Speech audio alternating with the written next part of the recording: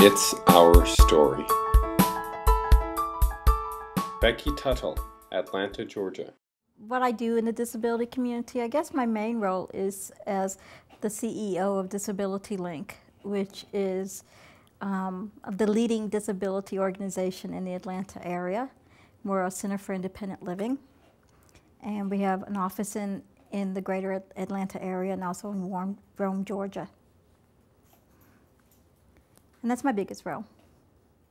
The It's Our Story project is a national effort to make disability history public and accessible. Visit us at www.itsourstory.org or on the It's Our Story project YouTube channel.